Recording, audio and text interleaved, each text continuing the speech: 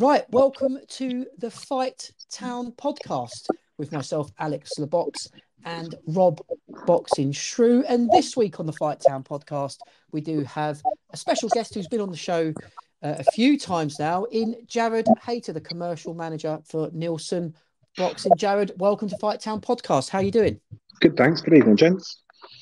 Yeah, good evening to you, Jared. Um, Jared, let's get down to business. There's a big show coming up for Neilson Boxing in Swindon on the 3rd of June. It's, it's a juicy card, isn't it? Are you guys looking forward to this night in Swindon? Yeah, we're really looking forward to it. So, uh, you know, Swindon is where Neilson Boxing is based, and we actually haven't done a show there since November.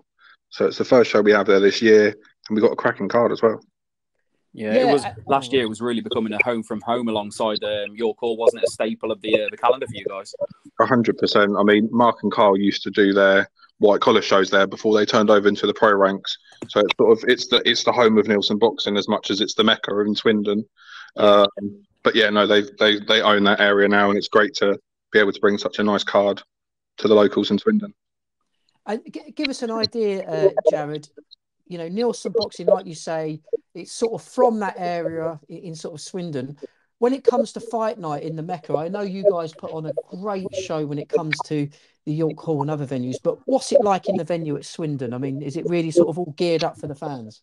It really is. So similar to York Hall, there's a nice balcony overlooking it. I think Mark always describes it as sort of like an, an Art Deco feel kind of building. Yeah. Um, it's a nice compact building. You can get about fifteen hundred people in there, and they, they do hold a lot of other boxing events there as well. So um, yeah, the locals are really used to boxing in Swindon. Brilliant, and um, it's a bit of a bit of a who's who of the uh, the Neilson stable on this uh, card as well. Lots of uh, you know common names that we've uh, featured quite a lot on this pod over the last twelve months. Um, who do you want to start with?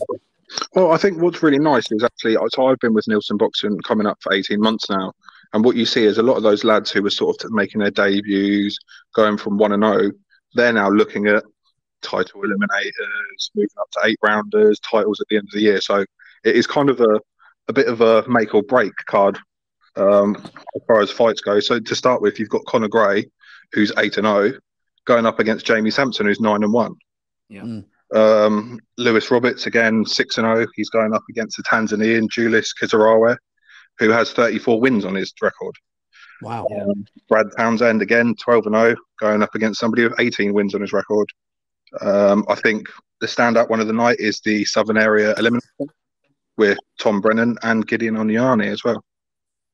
Yeah, it's, it's, yeah. it's, it is an interesting um, card, Jared, and and like like you said, it, it's it's great to see some of these boxers sort of come into prominence and having these sort of tough challenges. You you touched on um, Conor Gray there against uh, Jamie Sampson, in that super lightweight battle. Um, with with a boxer like Conor Gray, is it still the case of him on a learning curve, or, you, or you're really trying to push him now? What's the plan for Conor Gray at the moment? So Conor Gray, we actually recently signed a long-term promotional deal with him. He's actually managed by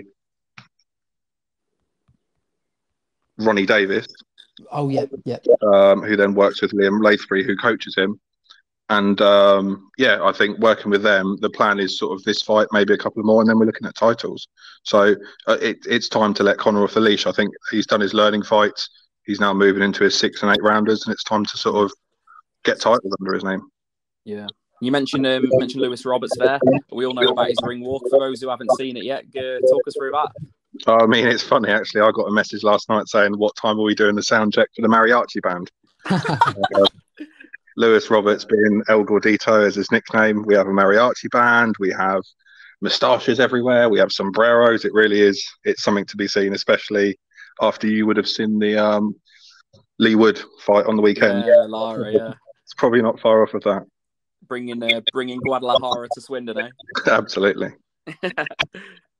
Absolutely fantastic, um, Jared. And as we know, Lewis Roberts does bring that fantastic ring walk. He also brings that beautiful southpaw stance, as, as, as we've seen as well. And the six six and zero oh bantamweight. We know about the bantamweight division in the UK at the moment.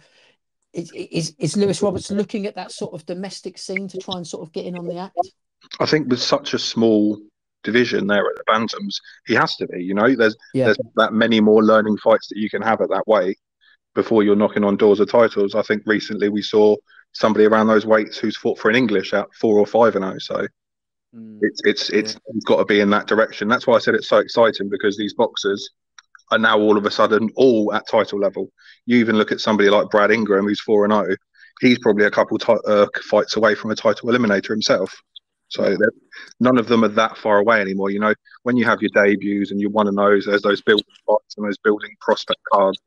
But a lot of these fighters now will be looking at titles end of this year, start next year. Yeah, and I think that it's important that you mentioned there about um, you know last year was a, a, big building year for Lewis, wasn't he? He was very busy uh, with you guys, and uh, you know he's he's going in with a guy with a you know a significant winning record now. So uh, this is where you know uh, you sink or swim, don't you? Hundred percent. I mean, Kisarawe, he's fought for the Commonwealth title before. He's fought for IBO, WBA, WBO titles. He's he's no mug. He he knows what he's doing in the ring, and Lewis. Yeah he's going to have to be top of his game to make sure he passes that test. Yeah, and over fifty percent uh, KO ratios in his um, uh, in his wins as well the Tanzanian. Yeah, no. So yeah, as I said, Lewis is going to have to be top of his game, but we think he will be. We think he's ready for it. Brilliant. Excellent. And um, Jared, you talk about tests. You talk about titles this year, with, especially with Neilson Boxing. Uh, there's already been a couple of titles uh, that have gone out on, on some of your shows. Um, Tom Tom Brennan at the top of the show, like you said, it's a tough fight against uh, Gideon Onyenani um, in the middleweight division. Is Tom Brennan? I think we've spoken about it before. Is he's looking to get these title shots now, isn't he? At this stage in his career, hundred percent. That's where Tom wants to be. Tom never turned down a fight. Tom, sorry, never turns down a fight. He actually fought against um, Michael Hennessy Jr. Um, in only his third fight. You know, he's up for a fight. He wants to go into these bouts and win. He had a sort of run of bad luck previously. He's had opponents who have come in overweight or have come down injured and not been able to fight. So really, he's just pushing on and trying to get his title shot. Um, we had Gideon on before at York Hall. Yep. Um, he, made a great account of himself. I think he was unbeaten at the time, and he still has a winning record now. So for Tom, the real icing on the cake is actually he's a massive Swindon fan, um, but he's never fought in Swindon. So for him to be quite in Swindon is very nice for him. Yeah. And obviously, yeah. you've got Brad Ingram on there as well. Again, good year for Brad last year, getting getting to four or five, yeah, four and zero. Oh. Um, you know, what are your plans for him this year? I think Brad Brad is a special talent. He did very very well in the amateurs. I think he's still a young lad. There's no rush with him. We're coming against somebody now with a 50-50 record. The welterweight division, as you know, is packed with talent.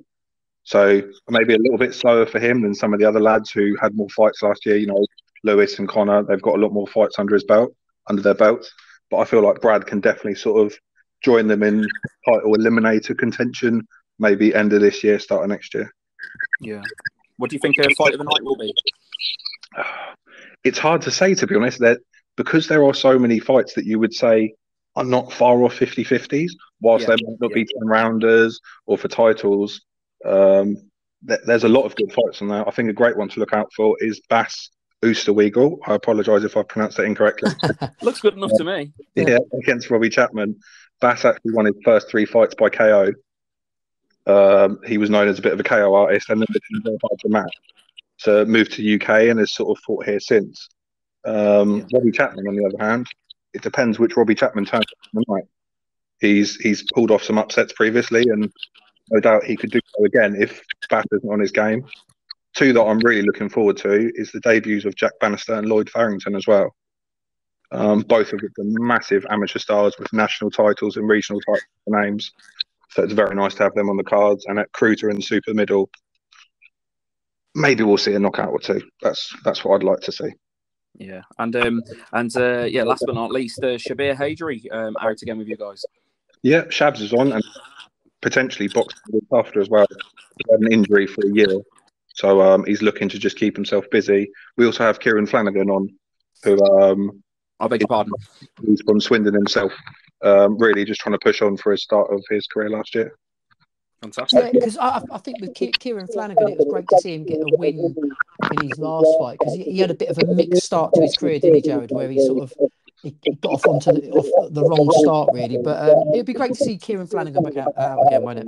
No, definitely. I think for Kieran, the fact that he had his debut at York Hall, You know, that's quite a big travel for him and coming into the game after having some time out and everything. But he says he's got a new Camp now. He feels better than ever. You only have to look at his Instagram and see the photos that he's in completely different shape, and hopefully he's a different animal come fight night. Fantastic, Jared. And Fight Town podcast listeners, there that is the show lined up for you in Swindon. Jared, what else have Neilson Boxing got coming up on their cards for later on in the year? Um, I won't go too much into summer. But before then, we've got a nice York Hall card on July 1st. Um, if anybody attended the March 3rd show, they'll know that we're the first person for a very, very long time to actually sell out York Hall completely. Yeah. Um, so the plan is to do that again. We're announcing fights bit by bit and dripping the information out. But we did announce last week the fact that Kate Radomska will be fighting against Marie Connon for an IBO Intercontinental title. Straight in, nice. Yeah, I think uh, Kate Radomska did very well on the Matchroom card on the weekend just gone. Um, and so yeah, she's sort of come into there. Marie Connon previously fought for an EBU title. Um, and yeah, you know, with female boxing buzzing, it's great to have them both on the card. Brilliant, and um, you, you, guys are, um, you know, really developing a relationship with the IBO as well. You know, there's been, um, you know, a, a, fair few fights uh, lined up, and, and previously with with Jack, you know, the last time out as well. Um, you must be really pleased have that affiliation. Yeah, it's great. I mean, after Jack's fight, we actually received a little mini belt commemorative from the IBO to have in the office, which was lovely for them. Nice. But what we found with a lot of the governing bodies is depending on your side, is depending on the response that you get. Whereas the IBO have been very responsive with us, as have a few other governing bodies. Um, but no, we, we look forward to working with them lots in the future. Fantastic. Yes, absolutely great to see. Uh, Jared, and we will be joining you down at some of these shows as well to uh, get involved, interview the boxers, and really sort of enjoy the scene that you guys at Neilson Boxing are creating. But uh, once again, Jared, thanks for joining us on the Fight Town podcast. Perfect. Thanks for your time, guys. Cheers, Cheers Jared. Jared. Take care. Cheers.